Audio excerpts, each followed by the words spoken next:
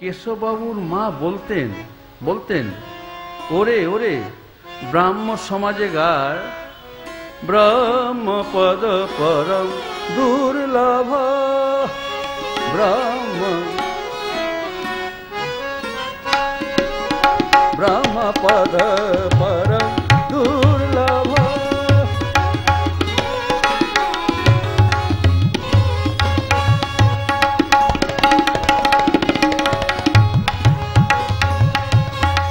ব্রহ্মপদ পরম দুর্লভ, কিন্তু দেখ বাপ সেই দুর্লভ চরণ সাক্ষাৎ ভাবে রে, সাক্ষাৎ ভাবে ঘরে বসে, বিনা সাধনা বিনা তপস্যায়। এই তপস্যাহীন জীবনে ছা পোষা অতি ঘোর সংসারে আমরা। আমরা তো নিজেরাই নিজেদের বাহাবা পেতে চাইছিলাম রে। লোক সমাজে গণ্যমান্য হতে কতভাবে কত কিছু তুই করছিলি? আমি তখন ভাবছিলাম, কেশব সেন খুব বড় হচ্ছে, কলকাতার সবাই নাম ডাক। আহা, কেশবের নাম ডাকে সবাই। কিন্তু কিন্তু, আমাদের সদা চঞ্চল মনটি মনটি এখন ওই চরণ ছাড়া কিছুই তো জানে না বেটা। আহা, শুদ্ধা ভক্তি তো জানতাম না আমরা। শুদ্ধা ভক্তি কারে বলে? অনুভবও ছিল না। তাঁর চরণে আমার আর তোর মনগুলো অবিচ্ছিন্ন স্থিতি লাভ করুক। যখন ভাবি যে বিশ্ব মানব ধন্য ধন্য হবে, চরণ লাভ করে ভজন নিষ্ঠায় হরিনাম শুনবে আর শোনাবে, এই ভজন নিষ্ঠা লাভ না হলে তো সেই রামকৃষ্ণদেবকে ভালোবাসা যাবে না রে। যে ভালোবাসায় স্বয়ং শ্রী ভগবান সুখ পাবেন সুচারু রূপে ভজন শুনলেই ভজনীয় শ্রী গদাধর পরম সুখ পাবেন। তাই শ্রোতা, আপনারা যদি শ্রীরামকৃষ্ণদেবকে সুখ দিতে চান, নিশ্চয় হরিনাম শোনাবেন। হরিনাম ছাড়া প্রভুর কোনো কিছুতে সুখ নাই, কোনো কিছুতে সুখ নাই, কোনো কিছুতে সুখ নাই। এ কথায় বুঝি আপনাদের বিশ্বাস হচ্ছে না, এই তো? তবে আপনারা নিশ্চয় লক্ষ্মী দিদির কথা শুনেছেন, তার জীবনী নিশ্চয় পড়েছেন পড়েছেন না? হ্যাঁ? আমি তো কিছু মিথ্যা কথা শোনাচ্ছি না আপনাদের। লক্ষ্মী দিদির কথা। এ তো বেশি পুরনো দিনের কথা নয়। পুরী ধামের লক্ষ্মী দিদি গাইছেন, সেটা তো বেশি দিনে ঘটনা নয়। উনিশশো সন পহেলা জানুয়ারি।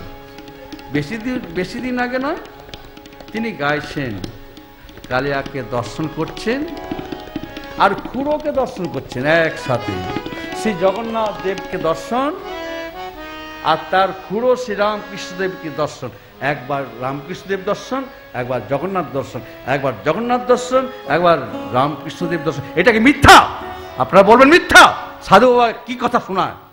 সাধু বাবা কি কথা শোনায়? আপনারা বলেন না সবাই। সাধু বাবা কি কি কথা শোনায়? এটা মিথ্যা। জগন্নাথ দেব শ্রীরামকৃষ্ণদেব এক, এটা মিথ্যা নয়। আপনারা জানেন না। আপনারা শুধু জানেন মাছ, মাংস, ডিম খেতে। এইগুলো খেলে ঠাকুর শ্রীরামকৃষ্ণ দেখবে চেনা যাবে না, চেনা যাবে না, চেনা যাবে না। চিনতে গেলে একটু পরিশ্রম করুন। পেটে যদি কার্বন ডাইঅক্সাইড জমা, ভগবান শ্রীরামকৃষ্ণের জন্য কান্না আসবে না। কার্বন ডাইঅক্সাইড সময় আপনাকে, সবসময় আপনাকে চঞ্চল করে রাখবে। সে নিম্নগামী হবে না, সদা ঊর্ধ্বগামী হবে, আর ঢেকুর উঠবে। এই জন্য মানব দেহটা নয়, বাঙালি ভাই বোন আপনারা একটু চেষ্টা করুন না। দেখুন না, আপনাদের মধ্যে যদি মাত্র তিনজন কাঁদতে পারেন, সমস্ত বঙ্গভূমি শান্তির নীড় হয়ে যাবে, শান্তির ভূমি হয়ে যাবে। সকলে কাঁদবে। তিনজন পারবেন না, আপনারা তো কয়েক কোটি বাঙালি আছেন। তিনজন কাঁদতে পারবেন না। মাত্র তিনজন? এই তিনজন যদি কাঁদেন, তাহলে পুলিশের চাকরি বলার কিছু থাকবে না। মানুষ প্রেম পেয়ে যাবে। কেউ কারও হিংসা করবে না, আমি বলছি। আপনাদের এতজন আছেন, তিনজন কাঁদতে পারবেন না? বাঙালি? বাঙালি! যদি কাঁদতে না পারেন তাহলে আর কিছু বলার নেই আপনাদের জন্য। মানুষের জন্য কাঁদা নয়, মহামানবের জন্য কাঁদা। মানুষ কোথায় যে আপনি তার জন্য কাঁদবেন? মানুষই তো নেই। শ্রোতা, এই দুর্গা দিদি দুর্গা দিদি পুরী ধামে গাইছেন, কাঁদছেন। রামকৃষ্ণদেবকে দেখছেন, রামকৃষ্ণদেব যেন জগন্নাথ।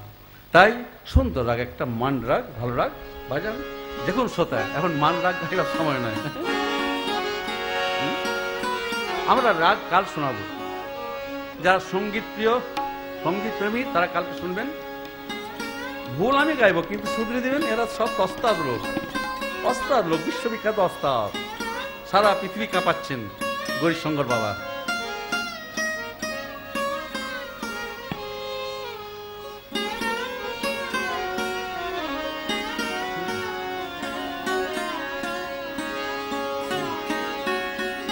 ওরে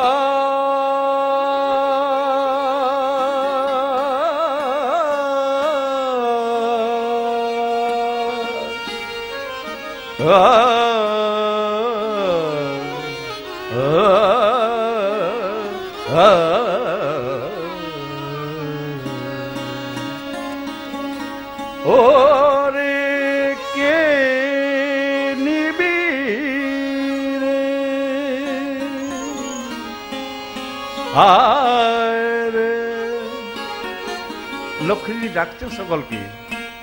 সকলকে মানে বিশ্ববাসীকে ডাকছেন। লক্ষ্মী দিদি, ঠাকুরের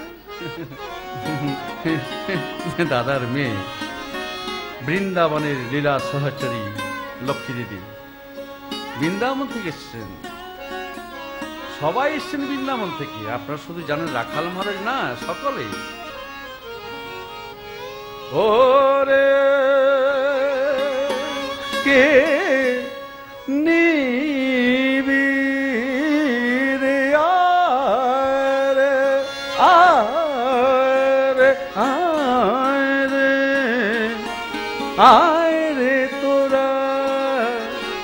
আ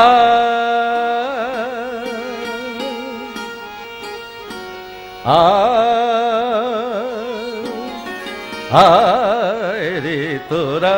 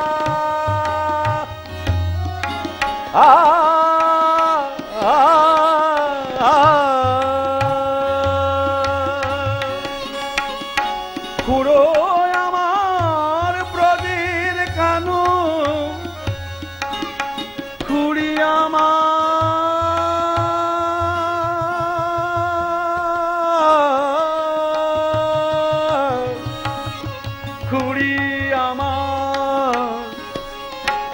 শ্রীরাধা আ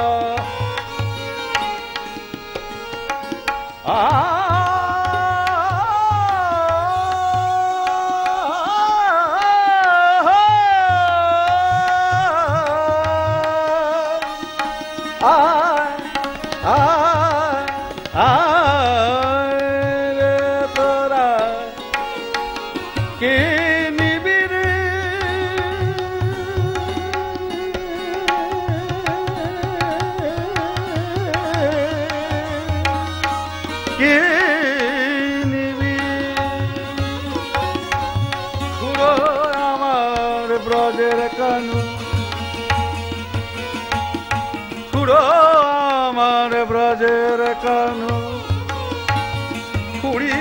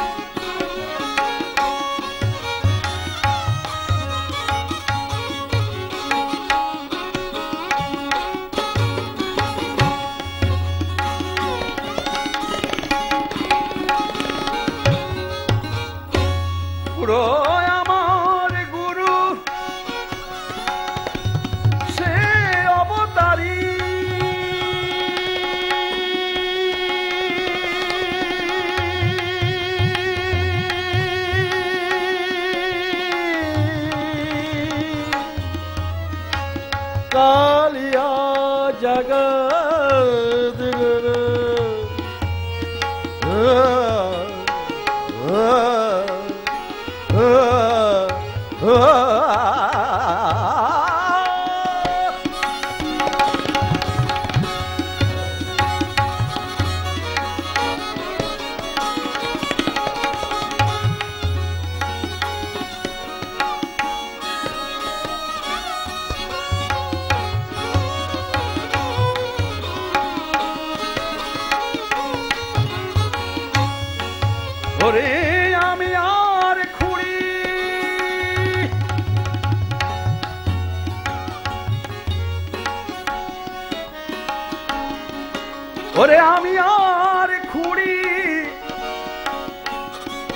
আমি আর খুঁড়ি নাম পেয়েছি। আমি আর খুঁড়ি নাম পেয়েছি। সুখ সারি।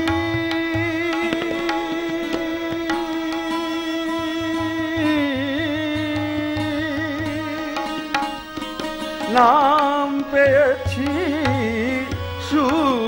ছাড়ি। ওরে দেখবি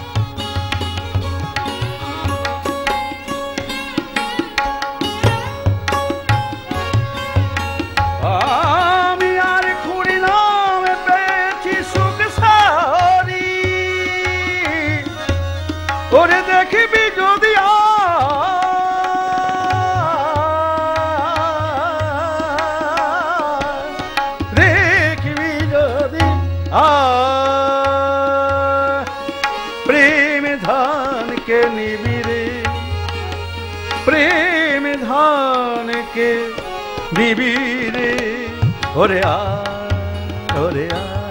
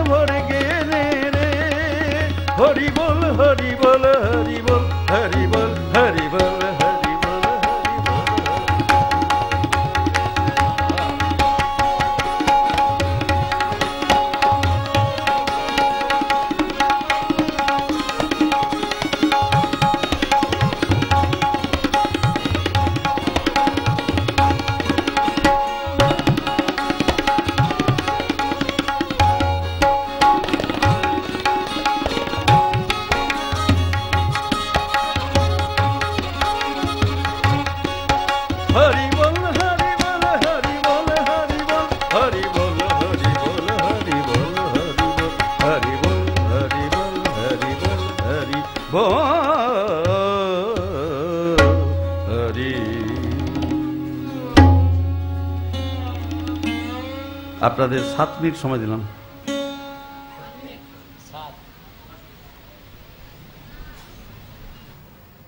এক যোগ করবেন না যেন ভুলে হ্যাঁ সতেরো করে নেবেন না? শ্রোতা, শ্রী লক্ষ্মী দিদির শ্রীমুখে কীর্তন শুনে অতি সাধারণ ব্যক্তিও কেঁদে ভাসাতেন। লক্ষ্মী দিদি, শ্রীরামকৃষ্ণদেব মাছে মোটা মুখ দেননি? মা কালীর ভোগ হয়েছে, থালাটা এসছে। ঠাকুর চটকে রেখে দিতেন চটকে রেখে দিতেন। লক্ষ্মী দিদি বাল বিধবা খাবেন না? এটা লক্ষ্মী দিদির উদ্দেশ্য নয়। এটা মানুষের বাসনার প্রতি ঠাকুর একটা দৃষ্টান্ত দেখিয়েছেন। মাতা শারদাকে যেদিন পুজো করলেন সরস্বতী পূজা, বিধি অনুসারে মায়ের প্রসাদী মাংস মুখে দিয়েছিলেন। মা কোনোদিন মাছ মাংস খেতেন না। আপনারা যদি কেউ দেখাতে পারেন যে মা সারদা মাছ মাংস খেতেন, তাহলে আমি আমি অন্তপক্ষে দাড়ি চুল কেটে প্যান্ট শার্ট পরে নেব। মা খেতেন না। ষোড়শ পূজার দিন বিধি অনুযায়ী মা কালীর প্রসাদী মাংস ঠোঁটের কাছে লাগানো হয়েছিল। মা তো ভাবস্থ ছিলেন, মা খাবেন কি করে? তাই বলছি, শ্রোতা, আপনার প্রেম নিন আর প্রেম দিন। আজ সমাজে প্রেমের খুব দরকার হয়েছে। প্রভু শ্রী রামকৃষ্ণের কতটা কষ্ট পেয়ে লক্ষ্মী দিদি, নানান সময় নানান কীর্তন ঠাকুরের নামে গাইতেন আর লোকে কান্ত, কেঁদে ভাসাতো। আর শ্রী প্রভু শ্রী রামকৃষ্ণদেব স্বয়ং কতটা কষ্ট পেয়ে একটা কথা আমাদের মাতা ঠাকুরানী শারদামণিকে শুনিয়েছিলেন আপনারা তো বইয়ে পড়েছেন।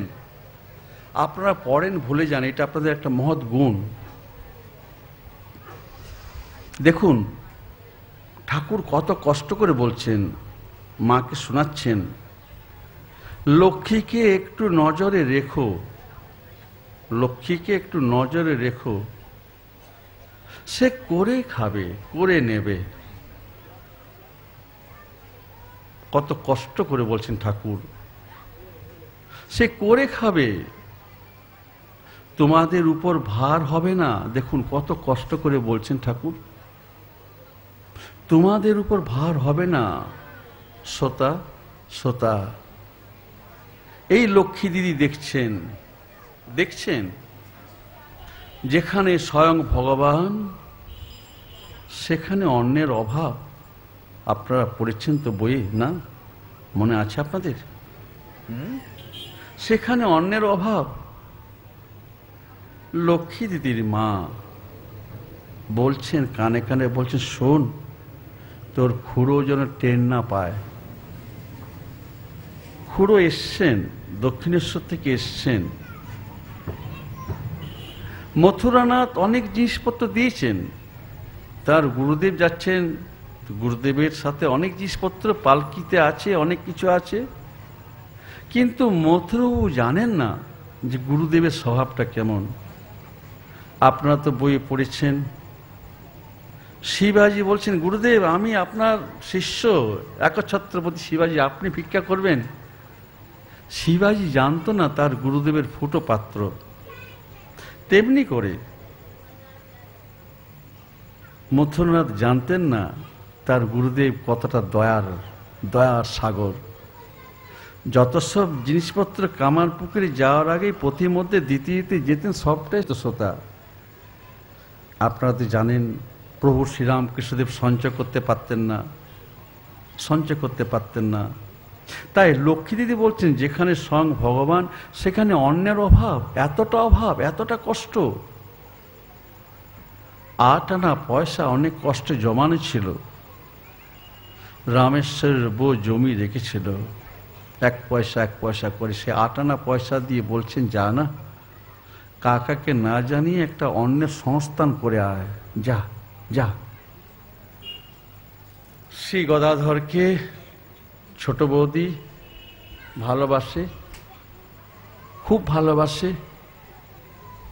সে বলে ও গো দেওর ভগবান, ও দেওর ভগবান দেওর ভগবান, আমার দেওর ভগবান, আমার দেওর ভগবান আমার দেওর ভগবান দেওর ভগবান, আমার দেওর ভগবান। মানে দেওরের সাথে ইয়ার কি ফাজলামি করতে হয়?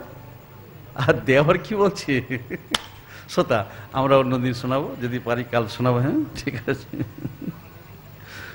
সংসার অভাবটা আছে, চাল নেই, খাবার নেই, কিন্তু যাঁরে দেখলে সব ভোলা যায়, তার বদনখানা যখন দর্শন করছেন রামেশ্বরের পত্নী তখন সবটাই ভুলে যাচ্ছেন। আবার সংসারের দিকে দৃষ্টি দিলে অভাবটা মনে পড়ে যাচ্ছে। সংসারে চাল নাই, ডাল নাই, খাবার নাই।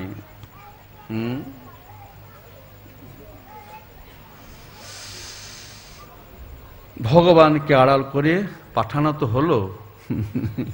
মেয়েটি ভালো করে বুঝলো, বুঝিয়ে সুঝিয়ে পাঠানো হলো। তো শ্রোতা খুঁড়ো যেন না জানে, আজ বাড়িতে খাবার নাই। এই আটানা পয়সা দিয়ে অন্যের ব্যবস্থাটা করার কথা লক্ষ্মী দিদি শুনলেন, গেলেন আনার জন্য। কিন্তু নটখট শ্রীরামকৃষ্ণদেব, কি দেখছেন?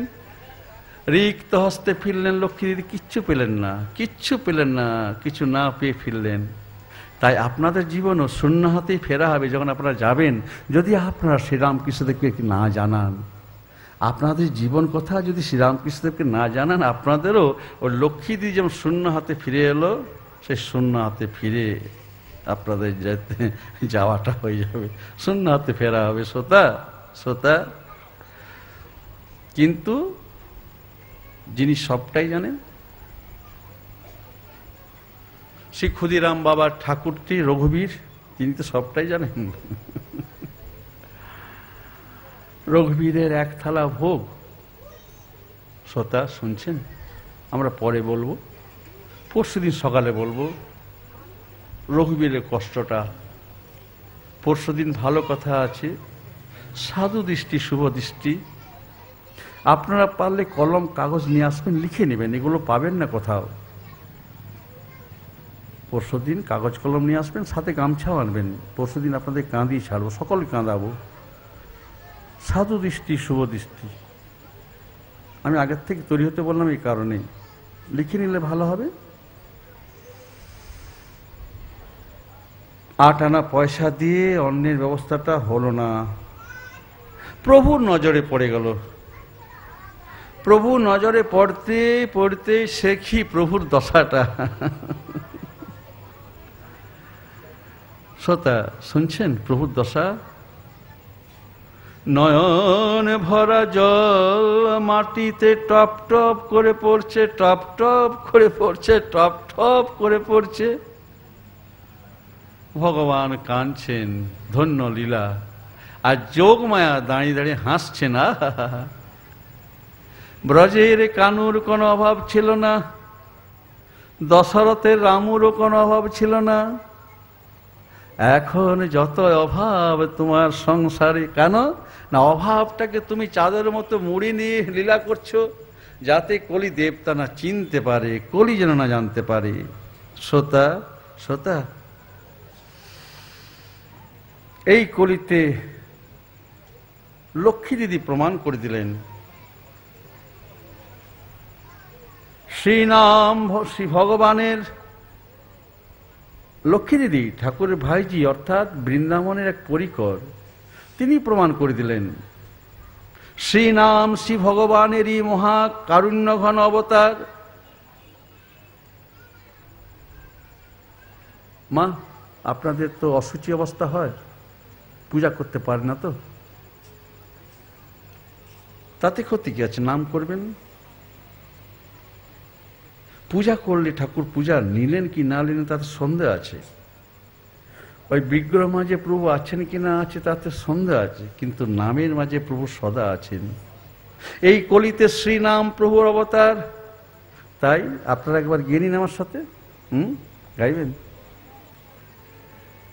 রাম কৃষ্ণ রাম কৃষ্ণ राम कृष्ण राम कृष्ण राम कृष्ण राम कृष्ण राम कृष्ण राम कृष्ण।